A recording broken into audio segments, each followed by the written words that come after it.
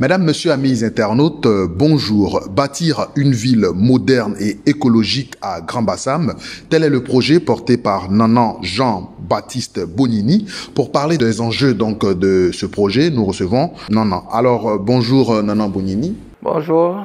Est-ce que vous pouvez vous présenter davantage à nos internautes? Bon, ben, je suis Nanan Bonini, le chef de la famille Samandia II du royaume de Mossou et le chef des notables. Et effectivement, j'ai eu l'idée de bâtir cette ville nouvelle. Euh, j'ai approché ceux qui sont au-dessus de moi, le roi de Mossou et la reine de Aswende, parce que la ville part d'Aswende jusqu'à Mossou. Alors, bâtir euh, une ville moderne, tant sur le plan administratif, économique et touristique, quelles sont les caractéristiques véritables de cette euh, ville nouvelle? Ben, Les caractéristiques de cette ville nouvelle, c'est que on veut bâtir une ville où il fait bon vivre, dans laquelle euh, il aura tout, tout ce qu'il faut pour mieux vivre. Je ne veux pas vous faire la synthèse de tout ce qu'il y aura dans, la ville, mais je vous dis tout de suite que si nos jeunes aujourd'hui courent vers la diaspora, c'est parce qu'il y a beaucoup de choses qu'ils ne retrouvent pas dans nos villes ici. Je vous parle du métro, je vous parle des aéroports modernes, je vous parle des malls, je vous parle aussi des centres euh, des centres commerciaux qui se trouvent dans la diaspora. Aujourd'hui, je veux porter tout ça dans cette ville-là. Alors, pour bâtir une ville de, de, de, ce type, il faut bien entendu euh, régler les problèmes euh, du foncier. Où en est-on avec euh, le foncier? Le foncier, au départ, l'État ivoirien n'avait pas cru à ce que je faisais. Moi, c'est une visite aux parents à Assini que j'ai vu que la route était coupée. Il avait plus sept jours et la route était coupée. Et j'ai vu, c'était tant d'eau. Je me suis dit, mais dis donc, on peut en faire quelque chose. Et lorsque j'ai approché l'arrêt d'Aswende, qui gérait cette partie, même chez elle, était inondée. Donc elle m'a dit, ah, mais ça fait des années que nous vivons ça. Donc s'il y a un enfant du village qui vient, qui dit qu'il peut bâtir quelque chose dans cet étang d'eau-là, ben, Dieu merci. Et cette ville nouvelle s'étend sur euh, quelle superficie concrètement? Au départ, j'ai demandé à l'État ivoirien euh, en 2017 de faire cette ville sur 300 hectares. Mais lorsque j'ai parlé avec euh, mes amis architectes de Paris.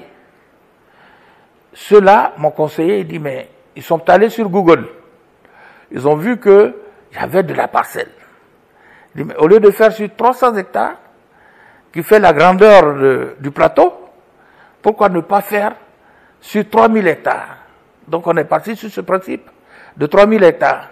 Après, ils sont revenus, ils ont dit, mais ce que nous allons faire pour vous sur 3000 hectares, on peut le faire sur 6000 hectares. C'est ça, c'est comme ça qu'ils ont amené la ville sur 6000 hectares. Pour que la ville soit à l'image d'une ville européenne comme Lyon. Lyon est un peu moins que 6000 hectares, mais c'est une très grande ville quand même. Alors on annonce un, un, un, coût de 612 milliards pour, pour ce projet. Est-ce que le financement est bouclé euh, Où en est-on justement au niveau du financement? Le financement est bouclé. C'est pour cela même que l'État a commencé à s'y intéresser. En 2018, c'est eux qui sont venus vers moi, me dit mais Nana, où on est, on en est avec votre projet J'ai dit ah vraiment. Euh, Monsieur les, les responsables du ministère, j'ai dit, le projet est encore là. C'est vous qu'on attend. On a fait les premières enquêtes. J'ai eu l'avis favorable. J'ai fait deux enquêtes. il y a eu la vie favorable, et vous-même, l'État, avez fait l'enquête publique. Il y a eu encore la vie favorable, mais c'est vous qu'on attend. Et c'est à partir de 2019 qu'ils ont commencé à s'y intéresser. Et ils m'ont demandé, la première question qu'ils m'ont posée, c'est ce que vous venez de me poser. Savoir si le financement est là. Et bien sûr, le financement est là. Et aujourd'hui, je suis même au-delà de ce financement. Parce que, en deux mois, j'ai eu cinq prix. Un à Kigali, un à Dubaï, un à Abidjan et deux autres encore à Abidjan. Et le 20 février, j'aurai encore un prix à la caisse de stabilisation qui va boucler tous ces prix-là. Si l'État donc est favorable à, ce projet, quand est-ce qu'il démarre véritablement et combien de temps euh, ce projet va-t-il prendre pour voir le jour? Bon, effectivement, c'est vrai, nous sommes en projet maintenant. Nous sommes en projet et j'ai eu les autorisations qu'il faut pour pouvoir démarrer le projet. Et les deux semaines de février, euh, mes, partenaires, euh, l'architecture studio de Paris, ils seront là. Il y a aussi General Motors qui sera là, qui est intéressé vraiment par le projet. Moi, je suis dépassé. Ça veut dire que les 612 milliards même qui sont euh, quelque part ne seront presque pas utilisés. Ces, ces, ces grands qui arrivent vont déjà commencer à, à, démarrer le projet. Donc c'est eux que j'attends pour démarrer. Sinon. Et le projet va, va, durer combien de temps si jamais il démarre? Bon, moi je veux que ça dure le moins de temps possible. Parce que euh, ici, nos projets, on le confie à une seule personne pour travailler dessus. Mais moi, je ne confie pas mon projet à une seule personne il va y avoir au moins 1000 personnes. Si je donne 1000 terrains à 1000 personnes, mais ça va être comme une concurrence. Donc, euh, les premiers 18 mois de mon cahier de charges, vous allez voir, les maisons vont pousser comme des champignons. Et à partir de là, nous allons maintenant continuer le reste. Aujourd'hui, nous sommes à une ville verte. Il n'y a rien dessus. Si General Motors, ce qu'ils m'ont dit, réel qu'ils viennent, je ne vois pas pourquoi. Je ne vais pas commencer par faire l'aménagement et essayer sur les 300 hectares que le roi, le, le, le ministère m'a permis de faire en, épreuve. Quand on va finir l'aménagement des 300 hectares, que nous allons donner à cette personne-là pour travailler dessus, le reste va suivre. Maintenant, la question que tout le monde se pose, c'est est-ce que euh, cette ville nouvelle sera accessible pour les classes moyennes ivoiriennes? Mais même New York, il y a les bidonvilles. Donc je ne vois pas pourquoi est-ce que tout le monde ne va pas y vivre. Tout le monde va y vivre. Et je, je me suis arrangé de telle sorte à ne pas vendre de terrain.